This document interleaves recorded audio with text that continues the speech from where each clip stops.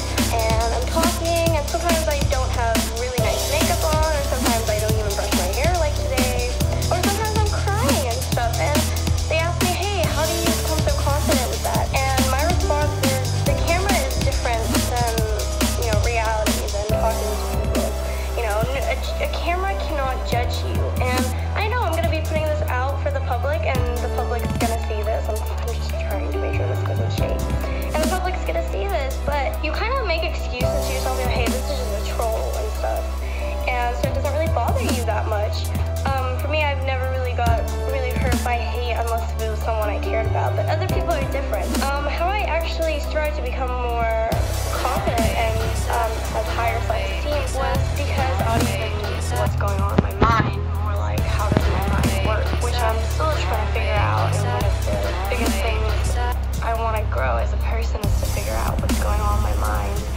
And I've been trying to do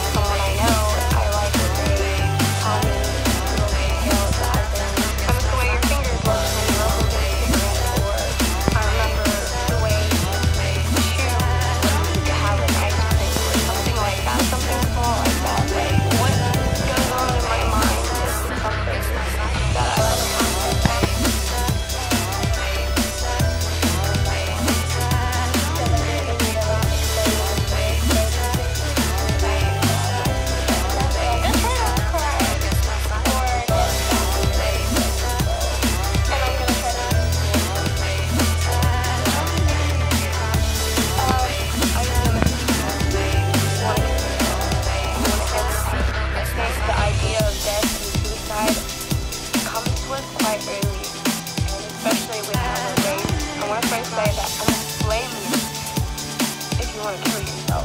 And I'm a little bit emotional because I'm an empath, so like when I think of one of you feeling like you need to end life, it, it tears me apart.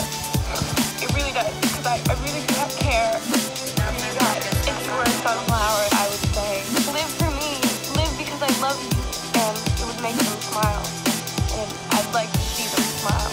But if you're watching this video and you don't know anything about me, about me.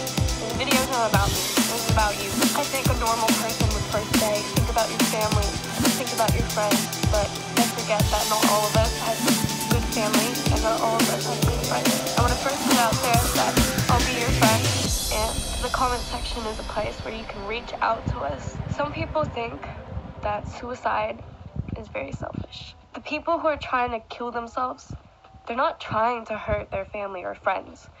They're not trying to be attention seeking. They're not